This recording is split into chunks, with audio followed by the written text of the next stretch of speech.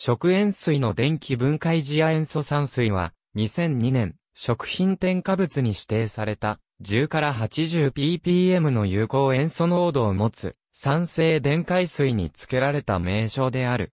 安全性について、食品安全委員会による評価を受け、人の健康を損なう恐れのないということで、成分の規格や使用の基準を定めた上で、使用が認められた。食品添加物は、第9版食品添加物工程書により、製造の基準、成分の規格、品質確保の方法が定められている。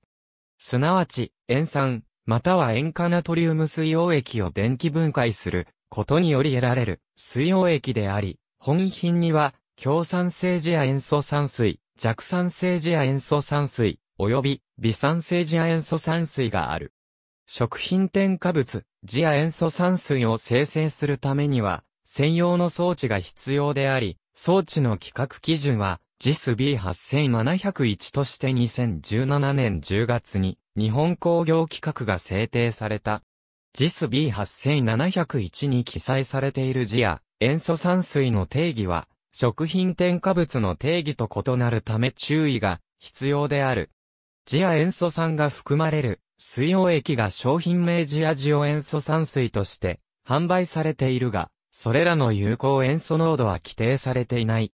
10から 80ppm の有効塩素濃度を持つ酸性電解水が2002年食品添加物に指定された際に付けられた名称である。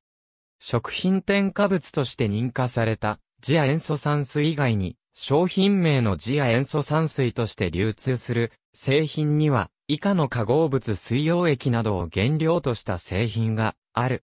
これらについては、食品添加物として認可された、ジア塩素酸水とは、製造方法、並びに、成分等が異なるため、原材料に使用される、化学成分の安全データを確認することが望ましい。ジア塩素酸水は、食品加工等の分野において、洗浄、消毒用途などで使用される食品添加物である。ジア塩素酸ナトリウムとは異なるものである。専用の装置を使用し、塩化ナトリウム水溶液、塩酸水、あるいは塩酸と塩化ナトリウムの混合液を電気分解することで、ジア塩素酸を主成分とするジア塩素酸水を作ることができる。生成装置の種類によって生成するジア塩素酸水の物性が異なる。生成装置については、JIS B8701 次亜塩素酸水生成装置を参照のこと。次亜塩素酸水は、その製造方法から一般的に電解水と呼ばれているが、食品添加物の指定を受けた際に、次亜塩素酸水として命名された経緯がある。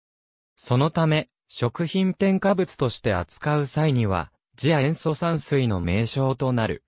食品添加物として認可されたものは次の3種類である。強酸性ジア塩素酸水の pH は実際的には2.2から2.7である。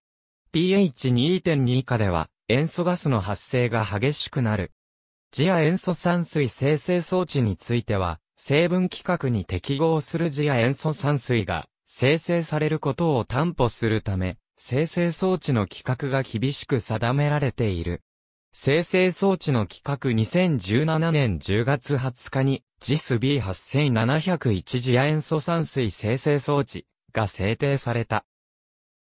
第9版食品添加物工程書解説書、次亜塩素酸水 D-981 ページ、参照出典、強酸性次亜塩素酸水の pH は、実際的には2.2から2.7である。pH2.2 以下では、塩素ガスの発生が激しくなる。急性毒性、反復投与毒性、遺伝毒性、皮膚類積刺激性試験、目刺激性試験などの試験の結果、異常がないことが確認されている。ジア塩素酸水には、殺菌基盤となるジア塩素酸のほか、過酸化水素やヒドロキシラジカルが存在する。ジア塩素酸水の広範な殺菌力の作用基準は、これらが細胞膜やタンパク質、核酸に多面的に作用して酸化的に損傷を与えることで、あると考えられている。使い続けても、耐性菌の出現が、これまでなく、今後もないと、理論的に判断されている。ただし、有効塩素濃度が規定未満の場合、殺菌効果が不十分となるため、使用前には、必ず有効塩素濃度を確認することが重要である。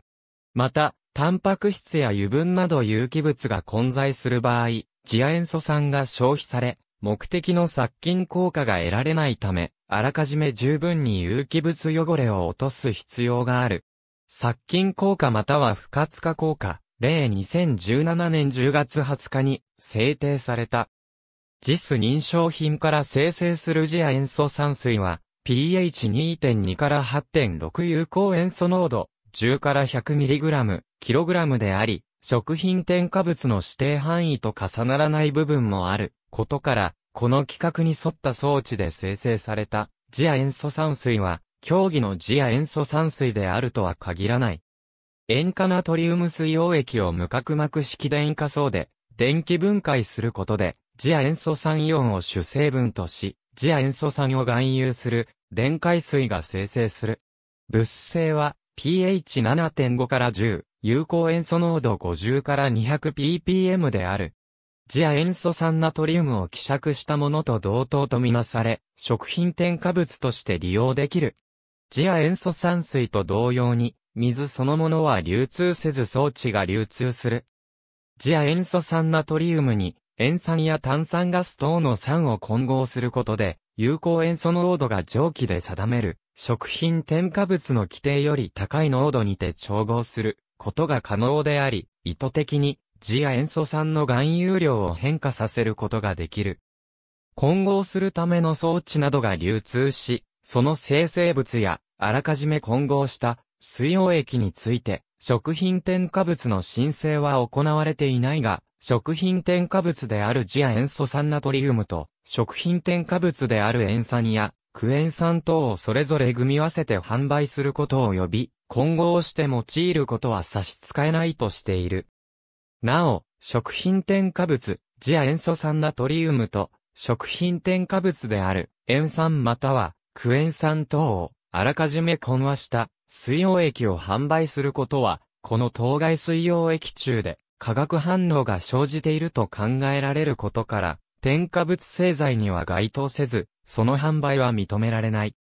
平成26年4月24日発出の食品、添加物等の規格基準の一部を改正する、県加工基準の改正が行われ、第一食品の部において、生食用鮮魚貝類、冷凍食品及び生食用柿の加工基準の改正が行われた。これによると、ジア塩素酸ナトリウムに加え、ジア塩素酸水及び水素イオン濃度調整剤として、用いる塩酸の使用が認められている。pH 調整剤としての使用について、ジア塩素酸含有水溶液の殺菌効果を有する、文庫種はいずれも、ジア塩素酸であるが、ジア塩素酸は pH に依存して、その存在状態が異なる。そのため、殺菌効果は、溶液の pH により変わり、ジア塩素酸の濃度に強く依存するとされている。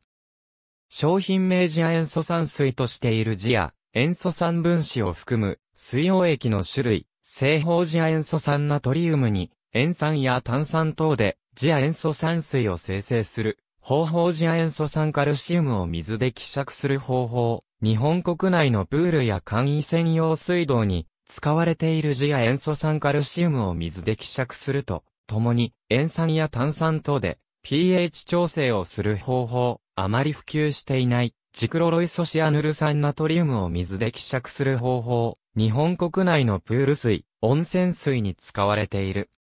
トリクロロイソシアヌル酸ナトリウムを水で希釈する方法日本国内のプール水、温泉水に使われている、新型コロナウイルス他への効果2019、新型コロナウイルスの流行を受けて消毒用のアルコールが不足する中、経済産業省の依頼で、製品評価技術基盤機構は、アルコールの代替品として、消毒に効果がある物品の有効性を検討を行った。ナイトの調査には、国立感染症研究所、北里研究所、帯広畜産大学、鳥取大学、日本繊維製品品質技術センターが協力し、次亜塩素酸水に関しては、一定濃度で、一定時間以上浸したものであれば、有効との結論が出された。経済産業省、厚生労働省、消費者庁は、20秒以上かけ流す場合は35 ppm 以上、拭き掃除には 80ppm 以上の有効、塩素濃度のものを用いることで効果があるとしている。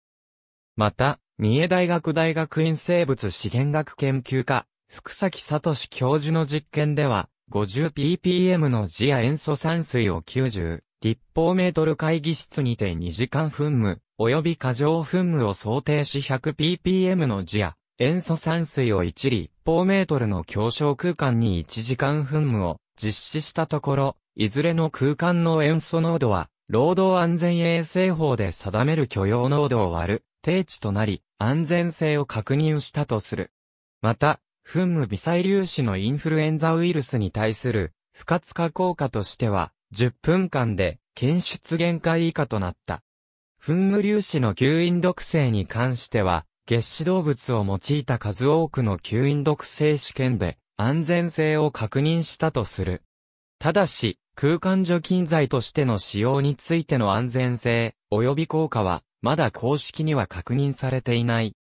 2020年、日本国内では、食品以外の消毒を目的とするジア塩素酸水が多数市販されたが、有効塩素濃度が表記されていないもの、表記されていても、使用時には濃度が異なっていたものなどが見られた。また、使用方法も明記されていない製品や、種子や、高校の洗浄等、化粧品に酷似した効果を表示する製品もあったことから、国民生活センターが注意喚起を行った。ありがとうございます。